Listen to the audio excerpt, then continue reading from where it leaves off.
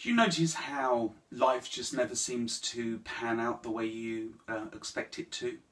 Like you have this set path in your mind as, as to how things are going to work out, and yet that when they do follow their natural progression, things never, the path is never the same however you plan it.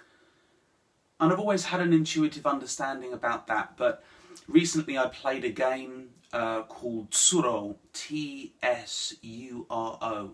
Brilliant game, lots of fun, thoroughly recommended you play it. We went up to Sheffield for my partner's birthday, and some friends took us to this restaurant that has a, a wall, a huge wall just full of games, and people eat their meals and drink and talk, and they play these games. And this was the game that we played. And there are up to eight players. and you've got your square board and on the edge of the board you put your pieces. And you take little tiles that have squiggles in them uh, on them that go from one edge to another edge. Um, and the um, and the objective of the game really is just to travel across this board. And people are placed and moving into the board from every edge from every direction and they're placing their tiles along and it creates a path. And there become important parts, there have become significant parts in the game where people's paths begin to cross.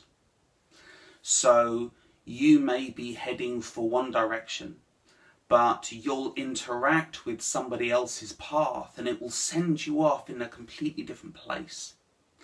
And I just thought that this description, this visual description, beautifully illustrated how life can be.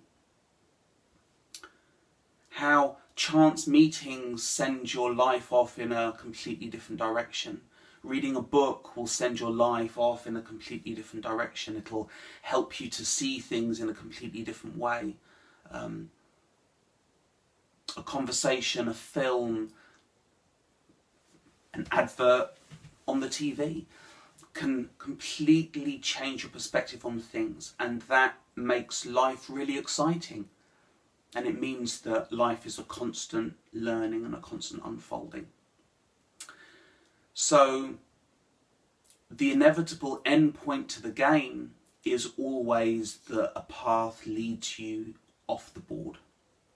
And this is something that although we uh, accept it, and although we have a intellectual understanding of this, coming to terms with that is also a very, very challenging part of life, yet something that over time we need to come to accept and understand. So anyway,